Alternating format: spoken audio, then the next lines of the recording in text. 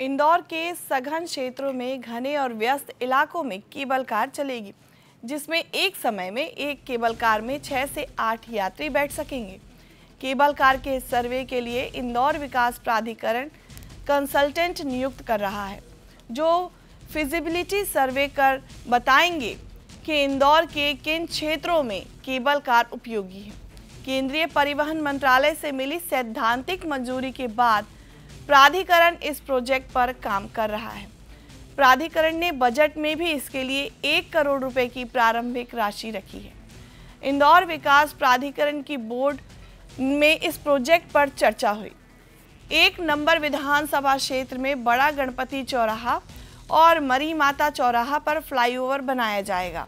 इसके अलावा राजीव गांधी प्रतिमा चौराहा पर भी फ्लाईओवर बनेगा। तीनों फ्लाईओवर के लिए सर्वे होगा। इसके लिए बोर्ड ने मंजूरी तक दे दी है।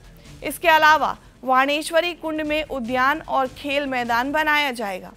इस प्रोजेक्ट पर प्राधिकरण 12 करोड़ रुपए का खर्चा करेगा।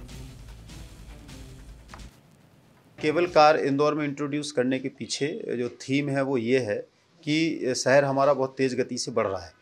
और यातायात का जो ट्रैफ़िक है, दबाव है, वो भी लगातार बढ़ रहा है। जो बहुत पुराना शहर है, जैसे सघन जो क्षेत्र है, जैसे जवाहर मार्ग है राजवाड़ा का क्षेत्र है, खजूरी का क्षेत्र है, और अन्य जो कपड़ा बाज़ार है, उधर के एरिया में अगर हम बात करें कि बीआरटीएस चला सकते हैं या मेट्रो चला सकते हैं तो बहुत थोड़ी सी दिक्कत है।